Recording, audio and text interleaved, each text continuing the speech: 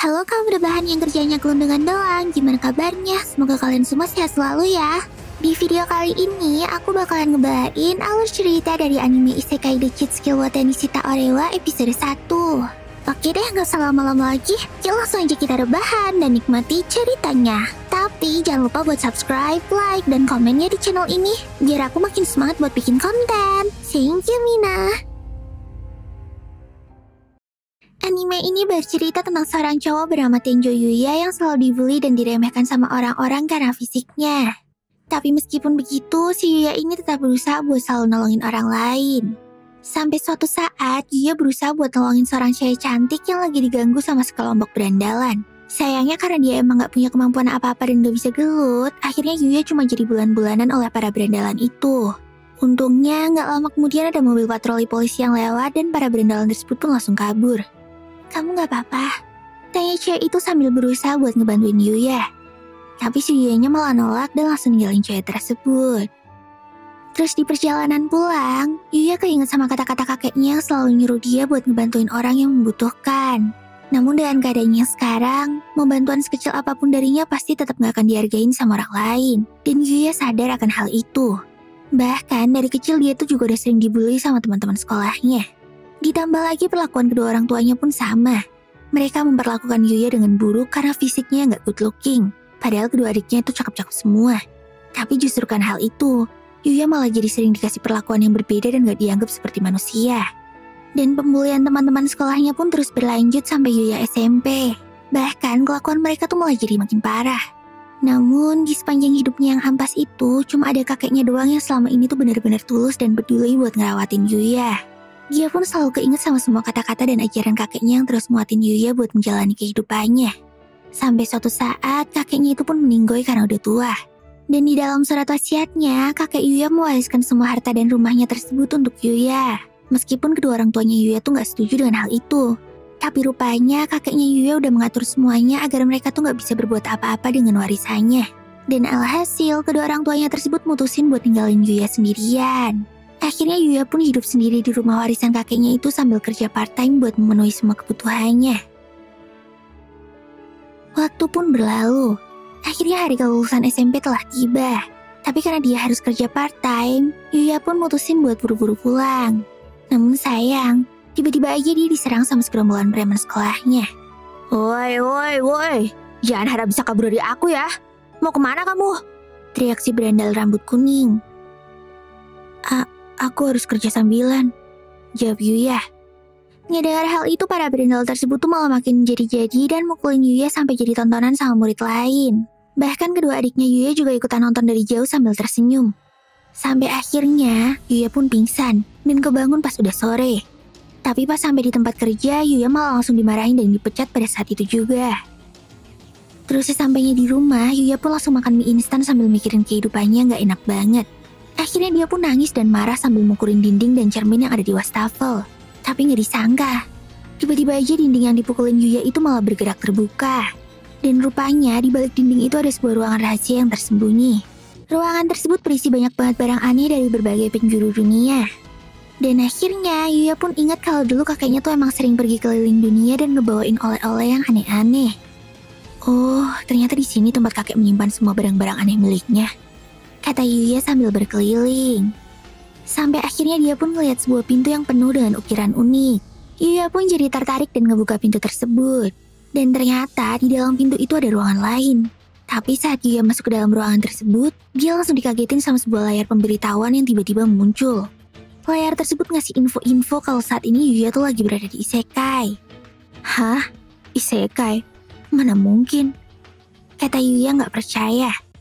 Pun langsung berkeliling dan ngecekin tempat itu. Lalu dengan cepat layar pemberitahuan tersebut langsung ngasih info tentang semua benda yang disentuhnya. Oh, jadi ini gunanya skill penilaian. Ucap Yuya. Kemudian Yuya pun mulai mempelajari tentang fungsi menu dan yang lainnya. Rupanya di dunia tersebut dia tuh bisa menjual beberapa item untuk dijadikan uang. Terus beberapa fungsi yang ada di layar pemberitahuan itu juga benar-benar mirip dengan apa yang ada di dalam game. Dan gak cuma itu aja, Yuya juga ngebaca info kalau yang bisa menggunakan pintu isekai tersebut cuma dia seorang. Akhirnya setelah paham dengan semua info tersebut, Yuya pun mencoba buat ngecek statusnya. Tapi ya karena emang baru aja masuk isekai dan belum ngapa-ngapain, statusnya Yuya pun ampas banget. Semuanya tuh masih level 1 dan gak berguna. Dan waktu ngeliat keluar jendela, akhirnya Yuya benar-benar percaya kalau dia tuh lagi ada di isekai. Karena suasananya tuh benar-benar beda dengan dunia aslinya. Terus tiba-tiba aja Yuya ngeliat ada sebuah catatan yang ada di atas meja. Tapi karena tulisannya pakai bahasa isekai, jadi Yuya tuh nggak ngerti dengan maksudnya. Untungnya dia punya skill buat ngertiin tulisan tersebut.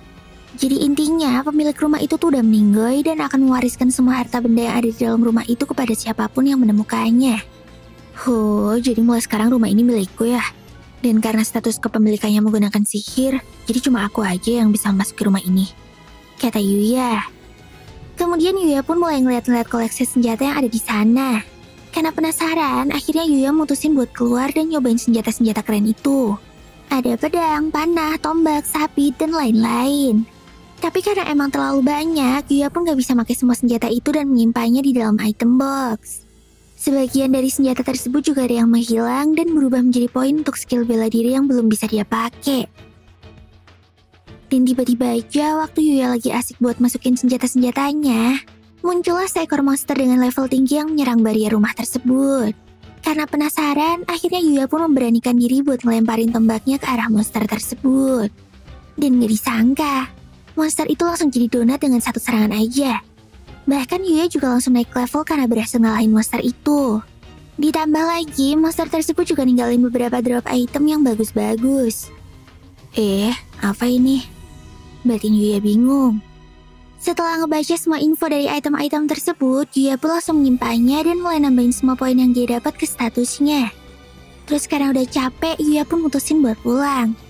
Tapi sebelum dia keluar dari sana, muncul pemberitahuan yang nawarin Yuya buat ngejual drop item yang tadi didapatnya. Dan gak disangka, pas dicoba tuh beneran muncul uang dari hasil penjualan item tersebut. Yuya pun kaget banget dong.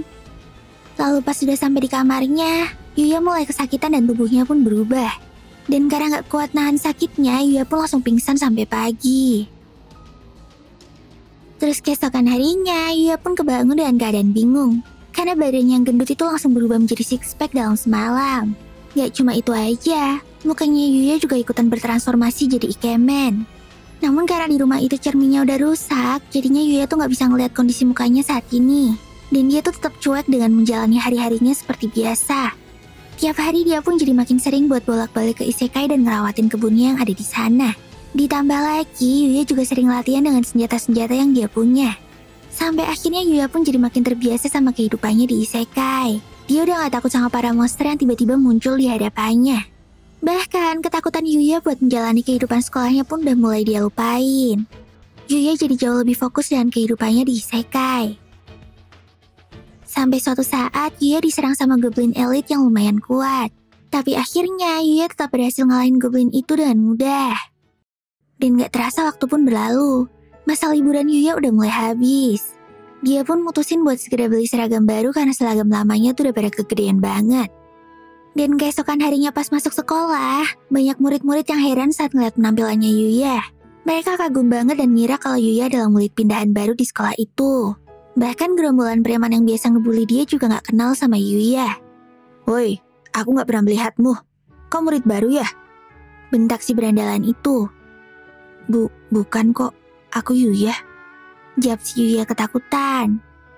Ngedengar hal tersebut, semua orang langsung kaget dong. Termasuk kedua adiknya ikutan nguping pembicaraan mereka itu. Karena semua orang kelihatan gak percaya, akhirnya Yuya pun langsung kabur ke kamar mandi buat ngaca. Dan saat itu juga Yuya pun ikutan kaget waktu ngeliat mukanya yang berubah jadi ikemen. Heh, ini beneran aku? Kata Yuya kaget. Terus pas pulang sekolah Yuya pun kembali digangguin sama para preman sekolah. Dan kali ini kedua adiknya juga ikut-ikutan ngebully Yuya secara terang-terangan. Ingat ya, apa pun yang kakak lakukan itu gak akan bisa mengalahkan kami. Bentak adiknya ketus. Iya benar, kau itu bodoh dan gak bisa olahraga tambah adik ceweknya. Tapi belum selesai mereka marahin Yuya, tiba-tiba aja ada sebuah mobil limosin yang berhenti tepat di depan mereka. Dan muncullah seorang cewek cantik yang langsung menyapa Yuya. Kamu adalah Tenjo Yuyasan, benar kan? Tanya cewek tersebut. Nah, inilah akhir dari anime Isekai The Cheat Skill Watenisita Orewa episode 1. Wah, kira-kira apa yang akan terjadi sama Yuya selanjutnya? Penasaran kan? Makanya pantengin terus channel Coaching Rebahan Junior dan jangan lupa buat subscribe, like, dan komen di video ini ya. Kalian juga bisa follow sosmed aku dan channel-channelku yang lain. Linknya udah aku taruh di deskripsi. Oke deh, sekian dulu ya videoku kali ini. Semoga bisa menghibur kalian ya. Ja, mata nih. Sampai jumpa di video selanjutnya. Bye-bye.